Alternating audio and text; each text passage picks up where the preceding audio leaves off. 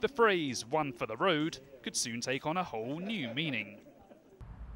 This car is being filled with a biofuel made from the unwanted residue of whisky production.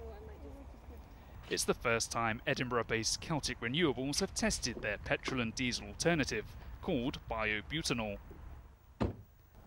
The car's engine hasn't been modified.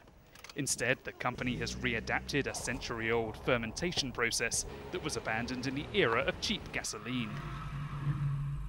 It's quite fitting to use a Ford for this historic drive as the original Model T Ford ran on biofuel and the fermentation that we've developed to put the fuel in this car is 100 years old, proven at large scale and we're simply going back to the past to bring the whole technology into a modern context.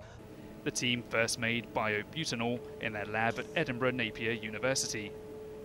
It's made from waste barley kernels known as draff, which is combined with pot ale, a yeasty liquid left over after distillation.